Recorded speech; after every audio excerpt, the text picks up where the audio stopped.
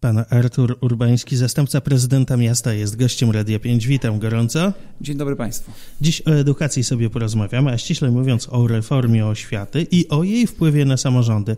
No to pierwsze pytanie właśnie. Planowana reforma oświaty, no dużo się dzieje ostatnimi laty w oświecie. E, sześciolatki miały iść do szkoły podstawowej, nie poszły. Teraz likwidacja gimnazjum. E, jak te zmiany, jak te reformy wpływają na pracę zarządzanych przez e, samorząd placówek? Mm, rozpocznę może od tego, że oświata i szkoła musi się zmieniać, bo zmienia się świat, zmieniają się dzieci, zmieniają się rodzice, zmieniają się oczekiwania, potrzeby współczesnego człowieka i dlatego też szkoła tych zmian wymaga nieustannie. Ona powinna się zmieniać i błędem chyba jest takim myślowym, jeżeli zakładamy, że uda się y, wrócić do takiej mentalności, do takiego człowieka sprzed 17 lat i my y, zmieniając y, sposób czy organizacji naszej polskiej oświaty znowu będziemy mieli takiego ucznia jak 17 lat temu. Przede wszystkim jednak trzeba pamiętać o tym, że oświata to jest bardzo delikatna tkanka, to jest tkanka bardzo wrażliwa i bardzo ważna i wszyscy, którzy za nią odpowiadają, to powinni mieć na względzie, aby te zmiany, które w oświacie następują, następowały w sposób bardzo przemyślany, miały na celu rzeczywiście poprawę jakości nauczania, poprawę jakości wychowania, bo przecież szkoła to nie jest tylko edukacja, ale również wychowanie. Jednym słowem, żeby one przede wszystkim uwzględniały dobro dziecka.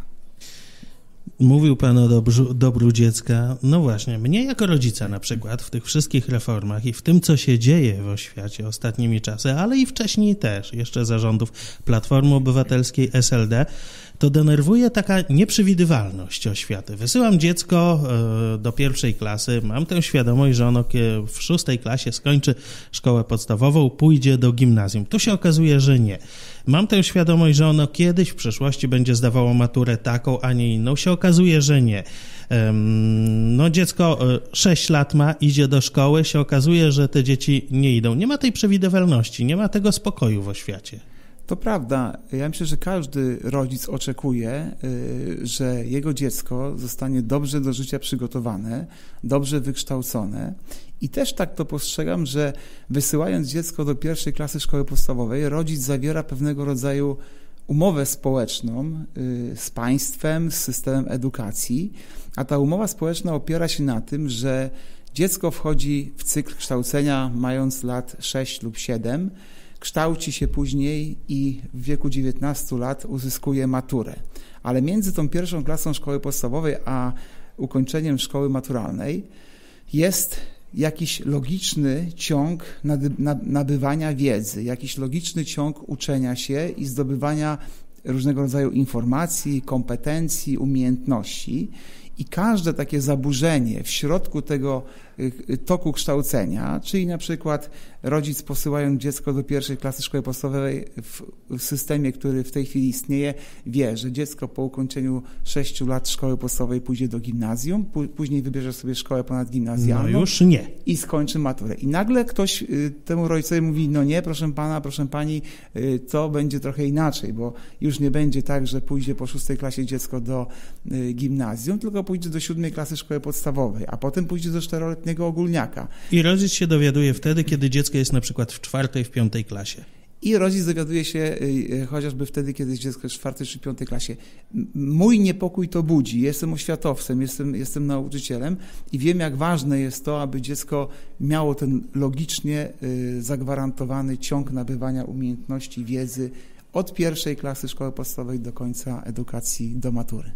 Mówiliśmy o tych zmianach w oświacie, jak to wpływa na dzieci, a teraz pomówmy o tym, jak to wpływa właśnie na zarządzanie oświatą, bo to ostatnimi czasy dosyć trudny element jest, bo też wy potrzebujecie, planując e, no, ścieżkę oświatową i to w przyszłości, jak będą szkoły wyglądały, no jakiejś stabilności. Tej stabilności na razie nie ma nie ma stabilności i myślę, że mm, to jest też y, taki element, który w pewnym y, takim, y, powiedział, znaczeniu rozbija trochę pracę koncepcyjną samorządów. My od lat budujemy taki model edukacyjny w mieście, który byłby modelem sprawnym, funkcjonalnym, który byłby modelem spełniającym oczekiwania rodziców. Mam tutaj na myśli zarówno przedszkola i miejsca w przedszkolu, szkoły i sieć całą szkół i tak naprawdę jesteśmy cały czas jako samorząd w takiej niepewności. Najpierw ta niepewność związana z tym, czy sześciolatki mają iść do pierwszej klasy, czy nie. Odkładana decyzja powodowała, że tak naprawdę my nie wiedzieliśmy, ile dzieci przyjdzie nam do klasy pierwszej szkoły podstawowej, a ile pozostanie w przedszkolu, bo taki wybór był dla rodziców. W tej chwili, kiedy, kiedy dopracowaliśmy się pewnego rodzaju rozwiązania i byliśmy w stanie na przykład przyjąć wszystkie dzieci trzyletnie chętne w tym roku do naszych przedszkoli, okazało się w grudniu roku ubiegłego, że mamy sześciolatki, które nam zostaną w naszych przedszkolach, prawda? A więc znowu ten nasz model y, zachwiał się i trzeba było y, szukać szukać rozwiązań oczywiście kosztownych, no bo przecież utworzenie dziewięciu nowych grup przedszkolnych to jest koszt ponad miliona złotych, prawda? No i teraz, kiedy, kiedy y, przejmujemy od starostwa budynek, żeby stworzyć tam wygodne gimnazjum z dobrymi warunkami do kształcenia, do nauczania, okazuje się, że nie, że gimnazja będą wygaszane i y, wracamy do struktury tak, takiej, jaką znamy sprzed 17 lat. To na pewno nie służy y, takiemu projektowaniu strategicznemu, jakie odbywa się w samorządzie, to na pewno nie służy realizacji zadań oświatowych. Ale powiedzmy, porozmawiajmy teraz technicznie. No właśnie, jak będzie wyglądała edukacja w przyszłym roku na terenie Ełku? E, no wiemy, gimnazja jeszcze nie wygasną, ale po 2000 na przykład 19 roku, kiedy gimnazjów już nie będzie, co z tymi budynkami po gimnazjach? Ja myślę, że jako miasto poradzimy sobie z tym i tutaj jestem spokojny o chociażby o tą naszą substancję, no bo tak naprawdę to ubędzie nam jedna dziewiąta y, uczniów z naszych szkół gminnych, ze szkół samorządu miasta Ełku ubędzie, więc nie ma problemu z budynkami, bo my te budynki zagospodarujemy, warunki być może nawet się poprawią pracy w tych, w tych y, budynkach. Natomiast y, no, pytanie pozostaje takie właśnie, czy to będzie lepsza struktura niż ta, która jest y, dzisiaj, y, czy też nie. Myślę, że na te, jeszcze na, na, na te trzy lata y, mamy taki pomysł, ażeby te oddziały, które będą od przyszłego roku siódmą klasą szkoły podstawowej, żeby one funkcjonowały na terenie gimnazjów, tak? Czyli dzieciaki szkół. będą jednak zmieniały szkołę, tylko będzie to się nazywała Ona, siódma klasa, tak, nie pierwsza gimnazjum. Tak, oni już będą uczniami siódmej klasy szkoły podstawowej, a nie pierwszej klasy gimnazjum, ale będą, tutaj przynajmniej tak, taki, tak, tak, tak projektujemy tą przyszłość, będą uczyły się na terenie dzisiejszych gimnazjów i będą nauczani przez nauczycieli również gimnazjalnych. Za rok to będzie dotyczyło klasy siódmej i ósmej. No i oczywiście jakby taki dla nas taka data graniczna to jest ten 1 września 2019 roku, kiedy już nie będziemy mieli gimnazjum, tylko będziemy mieli na terenie naszego miasta szkoły podstawowe. Czy będzie jakaś data graniczna? No właśnie, czy ta szósta klasa będzie taką datą graniczną, kiedy to uczniowie zmieniają budynek zmieniają nauczycieli, czy kiedyś docelowo będzie tak, jak kiedyś to było, że ci sami nauczyciele będą przez 8, 8 to nie, ale 4 lata uczyli nasze dzieci? Y, projekt nowego prawa oświatowego i założenia do tej reformy, która przed nami, zakłada, że w tej chwili będzie to 4 lata takiego nauczania wstępnego, z tym, że w czwartej klasie będzie, będą już prowadzane zajęcia przedmiotowe a od piątej klasy będzie już takie normalne nauczanie przedmiotowe, prawda? Więc myślę, że, że y, tak to będzie się y, odbywało, że nauczyciele przedmiotowcy znajdą właśnie pracę w tych oddziałach 5-8, nauczyciele nauczania początkowego 1-4 i ta czwarta klasa pewnie będzie takim y, polem wspólnym do działania dla nauczycieli nauczania początkowego i przedmiotowców. Teraz będzie taki problem, że będziemy mieli w pewnym sensie dwa roczniki właśnie, dwa roczniki w gimnazjum, potem dwa roczniki pójdą do liceum. Wiem, że to nie jest już problem miasta, ale to jednak nasi obywatele, mieszkańcy naszego miasta będą zdawali do, do liceum w 2019 roku. No i tu pojawi się problem, bo nie każde dziecko trafi do takiej szkoły, jaką, jaką sobie wymarzyło. Jest to problem miasta, jest to generalnie problem w ogóle oświaty i edukacji, bo my y, oczywiście administracyjnie dzielimy się z powiatem tymi kompetencjami. Powiat zajmuje się szkołami ponadgimnazjalnymi, my przedszkolami, podstawówkami i gimnazjum, ale Najważniejsze jest to, żeby zapewnić dzieciom, wszystkim dzieciom, które się uczą na terenie naszego miasta, czy to są szkoły podstawowe, gimnazja, czy szkoły ponadgimnazjalne, jak najlepsze warunki rozwoju, jak najlepszą szkołę i przede wszystkim mądrą szkołę. I teraz, jeżeli mówimy o tym roku 2019, to będzie rzeczywiście rok bardzo trudny, bo wtedy do szkół ponadgimnazjalnych trafią dzieci, które skończą ósmą klasę szkoły podstawowej i dzieci, które skończą trzecią klasę gimnazjum.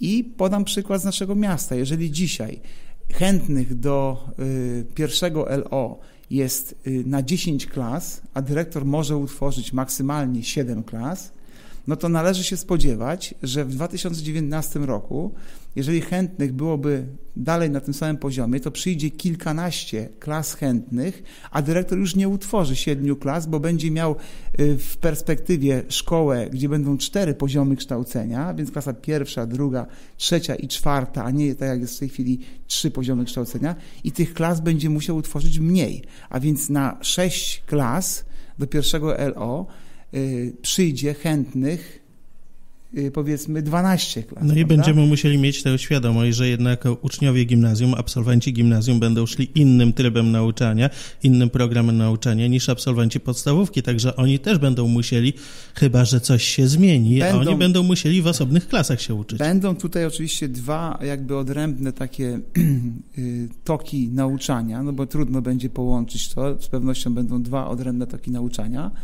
No i jest tutaj się rodzi pytanie oczywiście o, o, o, równość szans, o równy dostęp do tych usług edukacyjnych dla tych dzieci, bo ja mm, y, zakładam i jestem y, w stanie założyć się z każdym, że część dzieciaków do tych szkół, do których chciałoby, nie dostanie się i to będzie zdecydowanie większa część niż standardowo. No i na zakończenie jeszcze musimy powiedzieć o obwodach szkolnych. Wiadomo już, że się zmienią. Obwody szkolne z pewnością zmienią się. Jeżeli ta reforma wejdzie w życie, to obwody szkolne się zmienią. No, nie jest to możliwe, aby w szkole, która do tej pory y, mieściła sześć poziomów kształcenia, klasy 1-6, zmieściły się jeszcze y, klasy siódme i ósme w takim samym obwodzie, więc z pewnością obwody szkolne będą się zmniejszały dla szkół podstawowych. No i y, też będzie to z pewnością powodowało pewnego rodzaju niedogodności, uciążliwości dla rodziców, bo y, zdarzą się pewnie takie sytuacje, że starsze rodzeństwo będzie chodziło do jednej szkoły, młodsze rodzeństwo trafi do, do innej szkoły, no i w związku z tym pewnie będzie trochę niezadowolenia.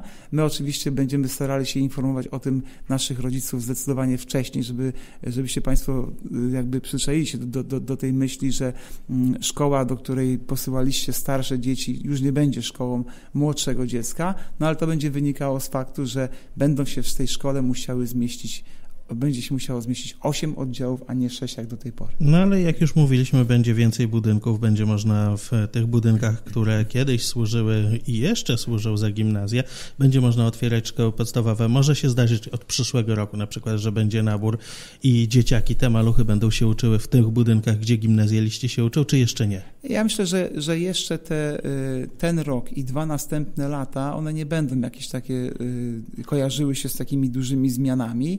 Z pewnością od tego roku 2000, od tego roku 2019 te zmiany dadzą się bardziej we znaki, aczkolwiek y, już na koniec stycznia 2017 roku będziemy musieli jako samorząd przygotować nowe obwody szkolne dla, nowo powsta- no, no, dla nowych szkół podstawowych, bo te szkoły będą Y, no, z nazwy takie same, ale w strukturze już trochę inne. Wyrobiliście już analizę, ile szkół podstawowych obecnie działa w naszym mieście, a ile będzie w przyszłości właśnie, jak już wejdzie, pełną gębą ta reforma?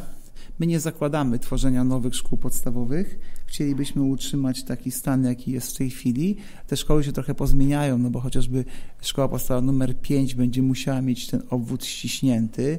Myślimy o tym, żeby w szkole podstawowej numer 7 y, silnie rozbudować to kształcenie w klasach 1-4 plus y, kształcenie przedszkolne. Trzeba mieć na uwadze, że przed samorządem jeszcze jedno zadanie od 2017 roku, od 1 września. Wszystkie dzieci trzyletnie będą musiały znaleźć miejsce w przedszkolach. I to jest obowiązek tak. samorządu, tak. żeby zapewnić to miejsce. Natomiast chcielibyśmy, aby szkoła podstawowa numer 7 y, składała się z dwóch budynków. Drugi budynek przy ulicy, y, kiedyś przy ulicy Koszykowej i tam y, odbywałoby się kształcenie w klasach 5-8. Także tyle na razie o reformie oświaty. Na bieżąco będziemy Was, drodzy słuchacze, informować, jeżeli pojawią się nowe informacje, jeżeli będą już konkretne plany. Dziękuję bardzo za rozmowę. Dziękuję również.